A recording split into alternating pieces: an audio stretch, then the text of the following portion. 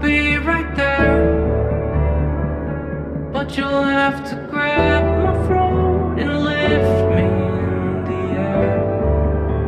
If you need anyone, I'll stop.